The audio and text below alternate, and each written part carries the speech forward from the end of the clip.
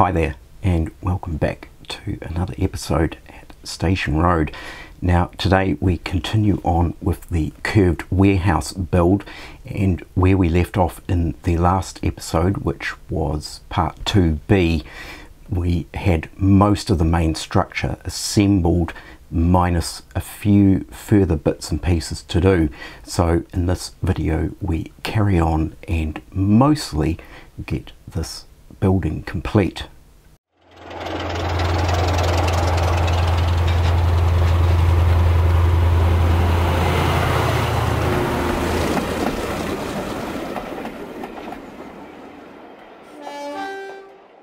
So just a recap on last video, and of course there's a link in the top corner for that. We got most of the walls on. There was the rear curved wall, which I hadn't yet installed, and we had all the glazing and brickwork done, and you could really start to see the form of this curved warehouse taking shape. So it's progressed a little bit further, and I think without further ado, we'll just get into all the last little bits that were finished off and how some of this work was carried out. So one of the first things to carry on with was a little one-story lean-to type office admin area at one end of this curved building. Now I'd pre-printed all of this out and had it all cut out but of course I hadn't actually got to the point in the last video of actually installing that. So much the same as the assembly for the main structure, we had the laser cut components. So we had two end walls and then we had the main front wall which of course had a doorway and a window in it. And of course the doorway I'd actually done in a double layer so it had a further recess and further brickwork that went in in a bit of a recess. So unlike the main structure of the building because this little wee cute office area it was so small, what I decided to do was assemble the laser cut components first, glue them in place, and then I wrapped the entire structure with the brickwork afterwards. So you essentially don't end up with any seam whatsoever unlike what I did on the main buildings. Now I think probably in regards to the main buildings they're just simply too big to really try and manage a full wrap around all four sides of quite a large building and also the fact that it's on a curve. So at the other end of the building I kind of felt I really actually needed to add in a door at that end because what I want to do is also add some steps going up at the other end as well and I noticed that in the prototype or in the warehouse in Oldham that there were some kind of ramshackle looking add-ons to the building in various places.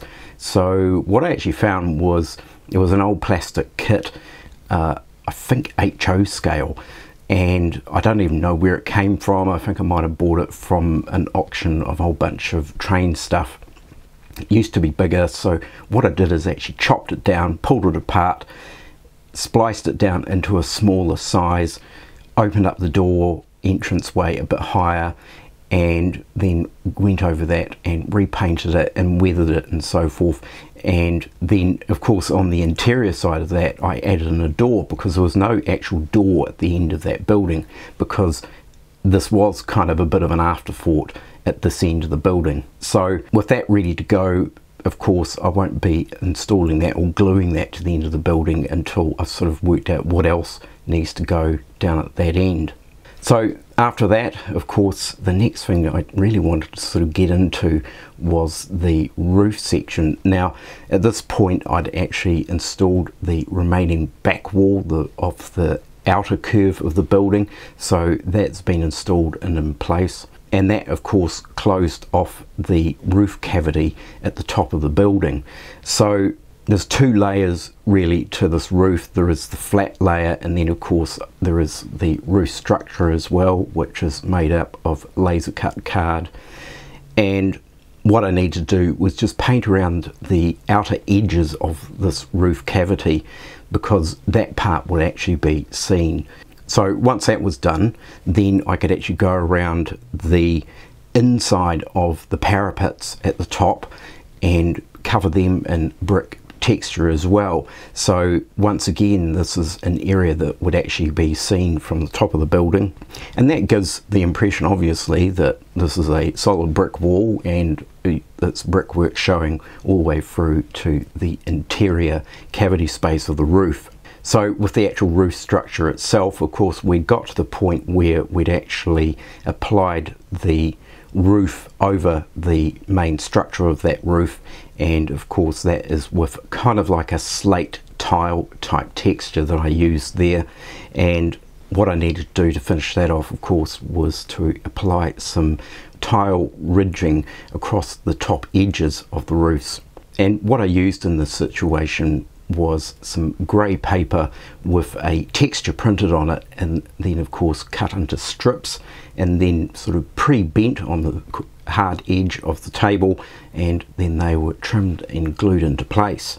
So once we'd sort of had all that kind of interior cavity area of the roof actually worked out and that was all in position, then it was a case of getting on to the parapets on the outer side of the walls at the top.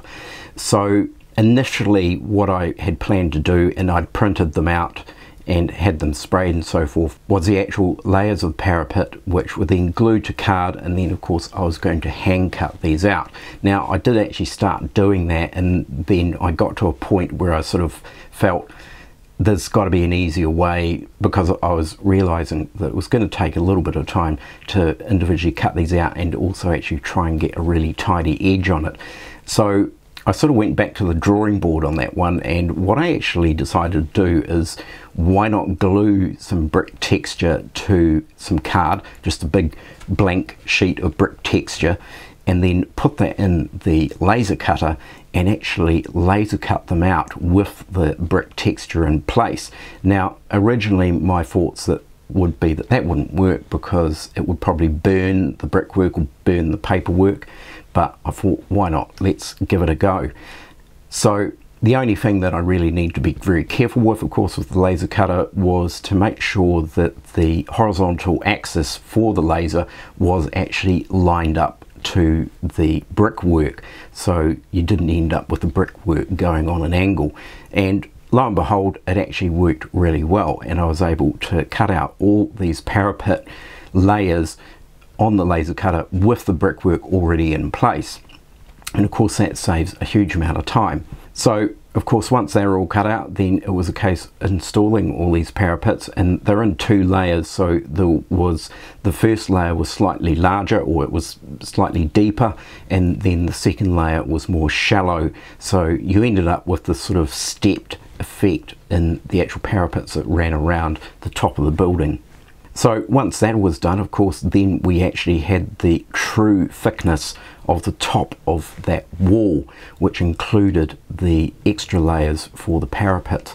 So that needed some form of capping stone to run around the top. Now, what I ended up using was some Metcalfe capping stone. Now I had tons of this offcut left over from many years of kits and I thought the easiest way to do this because it might be quite tricky to try and bend card that was too thick in width across the curves so what I actually did is use the thinner Metcalfe capping stone strips and actually doubled them up and did one strip at a time so that meant that they were able to curve more freely and then of course another single strip of the capping stone on top of that which of course covered the join in the middle and then of course you end up with a reasonably convincing stepped capping stone across the top of the walls. So the only downside of course to the Metcalfe capping stones is they were rather pristine and almost sort of kind of a little bit bleached out really compared to some of the other concrete structures within the building. So what I thought the best thing to do was to just tone this down with a black wash which I used some Tamiya acrylic and acrylic thinners and made a very diluted wash that I could then brush on and I just did that in a few layers to build it up and essentially dull it down and tie those capping stones into the building. So the next step after that was looking at some downpipes and of course as I mentioned in the previous video the downpipes serve two purposes really of course there is the actual purpose for where does the water go obviously off the roof but also it was the ability to hide any seams or joins in the brick texture. So I have used ratio downpipe kits and things like that and I did have a little bit of leftover stuff but this building is actually quite tall there's going to be quite a number of downpipes around the building and I sort of thought I need to find a way to make my own downpipes so in some situations I used the little wee drain boxes that sit at the top of the downpipes I actually had a couple of spare ones of those from the ratio kits and then with the actual downpipe itself, I just used a little bit of 1.2 millimeter rod. And then for the actual joins in the pipe that you often see on downpipes, I just used a 2 millimeter tube which was cut into very tiny little wee sections and then I spliced the back edge off the tube so it almost created what would look like a C, a letter C and then they actually clipped onto the 1.2 millimeter rod. Once I'd done that, they all got a blast of black matte spray paint and then they were ready to be installed on the building. So because I didn't quite have enough of these kind of collection troughs or whatever you call them at the top of the downpipes, I needed to make some more that were kind of similar and of course what I just used is some balsa wood that I chopped at various angles and shaved a bit off to chamfer them down and give them that same effect that the ratio ones did and they seem to suffice quite well once they were painted with a matte black paint and they seem to look all right on top of the drain pipes. So one of the last things I got onto was assembling a foundation for the building and from some photos I could actually see that there was a slightly thicker base to the building and it seemed to appear to have an angled concrete capping to it. So what I did in this situation, because it's something that I couldn't really sort of work up on the computer and certainly something I couldn't laser cut because a laser cutter can only do a vertical laser cut, or at least my one can only do a vertical laser cut. So I cut strips of card with a 45 degree bevel cutter and you can actually pick these up reasonably cheap on eBay and AliExpress and places like that. And I think they use in picture framing industry for cutting the mount that goes around pictures and so forth. But it worked well in this situation where I could cut strips of card at a 45 degree angle. And then what I did is applied some strips of brickwork and once I'd done that then I trimmed that down to the depth that I actually needed for this foundation. And then of course they were installed to the base of the building.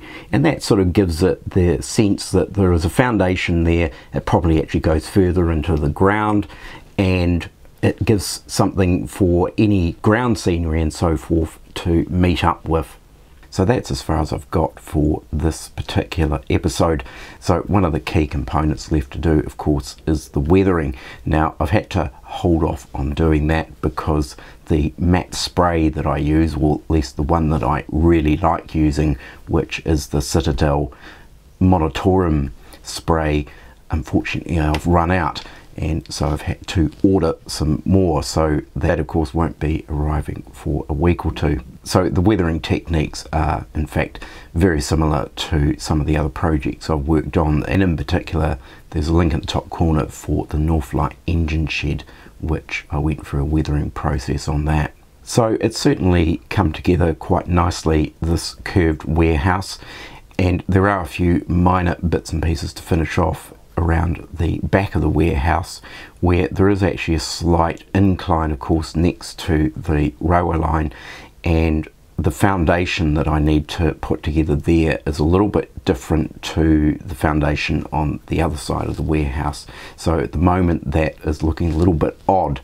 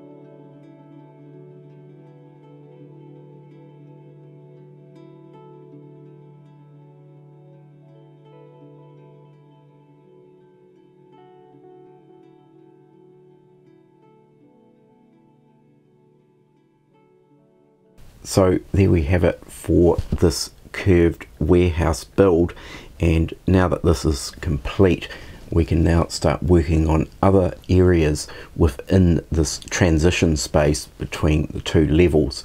So of course there is going to be some landform and then also whether I continue some landform or possibly do some further terraced houses that step down the slight hillside. So of course there's the work within that area and then there is working back towards the raised level of the goods yard as well. So of course down at this end of the building we had this little kind of lean-to that's added on to the end of the building. That will go into sort of maybe a little yard that might have some junk and other bits and pieces in it. And then of course that will be right next to the street as it curves around at a 90 degree angle. So there's yeah definitely more bits and pieces to do and finer detail as it progresses on. So I certainly hope you've enjoyed today's video and hopefully you've gathered some inspiration of course and ideas for your own layouts. And also with some techniques that have been used in the scratch built card construction of this warehouse so before I go, I'd just like to say a huge, massive thank you to everyone who's dropped in their comments on the previous videos. And in particular, it's really interesting to hear from those who are actually familiar with this warehouse, or at least the, the real larger version of it in Oldham. And I love hearing the stories from people, you know, from their childhood about, I remember that place and I remember going there and visiting it it's just fascinating. I really enjoy those kind of comments that come in from people who are familiar with an area that lo and behold I've decided to base a model on. So I'll sign off for now. Do take care everyone. Look after yourselves. Don't forget to like and subscribe and also drop in your comments. And I will catch you next time. Bye for now.